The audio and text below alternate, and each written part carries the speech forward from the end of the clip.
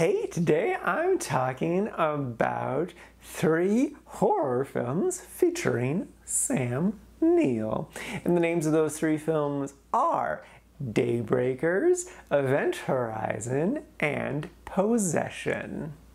The First up is Daybreakers. This is a 2010 Australian film starring Ethan Hawke and also featuring Willem Dafoe and of course Sam Neill. And the basic premise is in 2009 it's revealed that vampires exist and humanity has to assimilate with them or be food for the slaughter. And so most people are like, yeah, immortality, that sounds pretty tight. And so they join. But the unfortunate thing with that is that if food all become your competition for food, then you run out of food pretty quickly. And so there's a blood shortage and everyone's freaking out. This movie's silly. It's got its issues. It's got its logic problems. I could poke so many holes in this, but it's a lot of fun. Like it just really works. Like the horror stuff really works. The heart of it really works. I got emotionally connected to the characters. They went on an interesting journey. How they solved problems was interesting.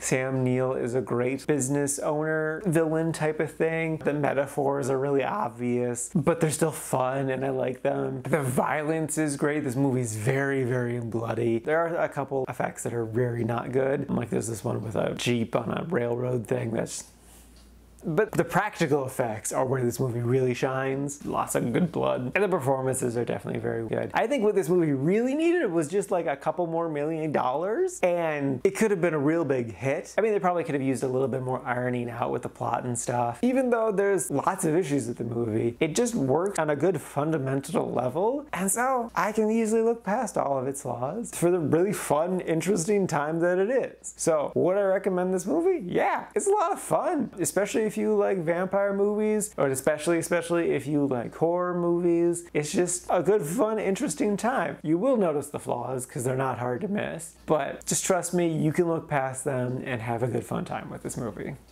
Next up is Event Horizon. This is a 1997 film starring Laurence Fishburne, of course Sam Neill, and the basic premise is in the future there is this ship that's gone missing and it was like a big deal but then they've recently discovered a distress call coming from it. So this ship is sent out to investigate and then maybe some crazy stuff happens including lots of bloody murder. There's a lot about this movie that I liked a lot. First the aesthetic is just great. It's very similar to the movie Alien in good ways. I don't think it was just trying to carbon copy it but I think it was like definitely borrowing. I think the premise is interesting interesting, especially like the, kind of the crazier place where they take it. Where this movie truly shines though is its gore. Its gore is incredible. Like, oh god. This is a little bit of a spoiler, but for those who have seen the movie, my favorite one was Jason Isaacs' death. It's just so messed up and I'm just like, ah, this was a good one. There's also like this flash to this like almost orgy scene. We just get little glimpses of it, but apparently this movie actually was supposed to be like 30 minutes longer and the studio had him cut it down and a lot of stuff that they cut was a lot of the more intense gore. And I'm like, damn it. I think with more gore, I could have forgiven this movie's dumb things that it definitely has happened because the gore is just so entertaining and its messed upness. And then like some other stuff that got cut are like more character backstories, which I think would have also helped like really fill in the movie. I did like the 90 minute runtime that it had. It did feel good, but I do think more would have been better. It definitely gave me vibes of the Russian film Solaris. That was probably intentional too. And I especially like that too just because Solaris is fine. It's just kind of boring. And I think it takes ideas from there and it expands upon them into a very interesting way. So yeah, I would honestly again recommend this movie. It definitely has a lot of flaws that I couldn't easily forgive, but I think all of the horror elements of it really justify the experience. Like you're gonna get a lot out of it if you like gore and horror. Like it's good. It's good stuff. If you're squeamish though, don't watch this movie. There's so much blood. So much blood. But if you like blood,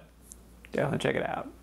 And lastly is Possession. This is a 1980 French slash West German film, and the basic premise is this married couple is breaking up and it's not going well. And then eventually some body horror stuff happens, but it's metaphorical. Okay, this movie's weird because like I feel like I can say I understood the movie, but I didn't really get the movie. Like I picked up on like the metaphors of stuff, but it just didn't like click for me, I guess in a sense. Like I feel like there's just some contextual stuff that I'm not like entirely understanding. I don't know. I think what didn't help me is that I was expecting the body horror-esque stuff to happen earlier because I feel like the first time isn't until like halfway through the movie, which is a good turning point, but it's just like I wanted it sooner. And I thought it was gonna get crazy in a different way. It does get bonkers, especially like the scene in the subway. That's just the whole vibe, which is interesting because like I maybe enjoyed that scene, but it's also just like its own thing. I don't know. This movie is an experience. I liked it. I definitely liked it, but it just, I don't know. I was hoping for it to strike a different chord with me and it just didn't quite.